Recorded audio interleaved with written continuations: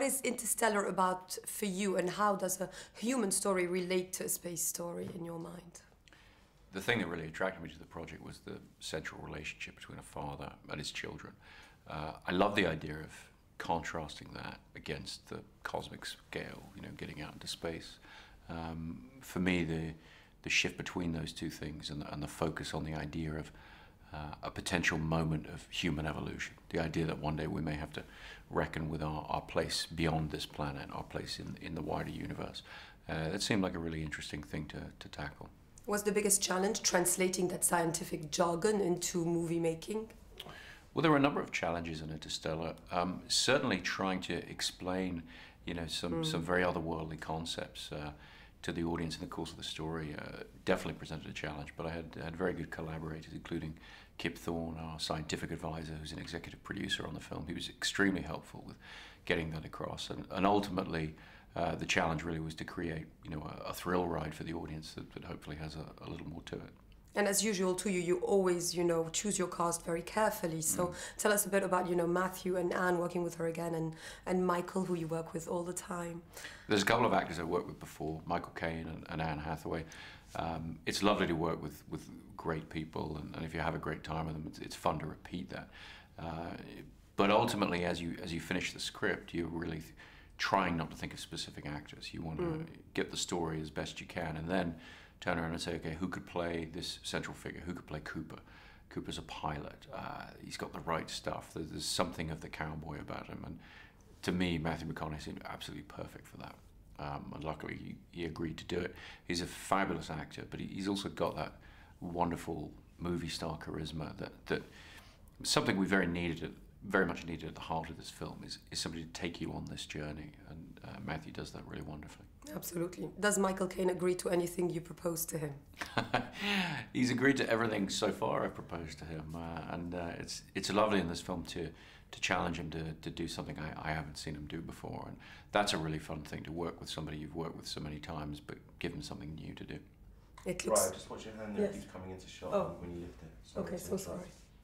Uh, the film looks visually spectacular. Uh, I know you like IMAX very much for your movies. Why is that? And, and what do you not like in terms of digital technologies? Well, I love film. Um, I love the quality of it. Um, it's the highest resolution, best color reproduction, these kind of things. Uh, but ultimately, all of that is, is irrelevant. Um, the IMAX thing, uh, shooting on IMAX film, what it gives us is when you can project it on those massive screens, it's about immersion. It's about really giving the audience a great experience. And uh, we chose the format that could really envelop the audience and really make them feel like they've gone on an incredible journey. And we have. you've, is it the right impression that you've used a little green screen, everything that looks real, feels real? I didn't want to use green screen because it's really boring to shoot, honestly. you turn up, it's a depressing day when you have to shoot green screen. Uh, what's really fun is to come onto these sets we built that felt more like uh, simulator rides than sets. And so the actors could actually look out the windows, see the real views. Uh, we could really just shoot what they were doing in the whole sequence, almost like a documentary. It's far more, uh, far more fun, frankly. And I think that hopefully the feeling of reality sort of seeps into what the film is. Is it difficult to use um, a watch as a plot point without giving anything away? Uh, I don't know how to answer that one, actually. Too many spoilers. Yeah, there's not a lot you can really say about the plot elements of the film because the plot's very simple. And I think the less people know about specific plot points, the more they're going to enjoy the film. So really, what I keep saying is it's about it's about the journey. It's about having an exciting experience in the cinema. Yeah, no, totally agree. What would you like audiences to come out of the film thinking and feeling? Well, I'm hoping that they'll they'll feel a strong emotional engagement with the characters and the dilemma of the characters. Uh, it's something I felt very uh, strongly about while I was making the film, and really to, to go on a great journey with characters, to be through a to be going through a set of extreme experiences with characters, uh, emotionally as well as in you know action terms and all the rest.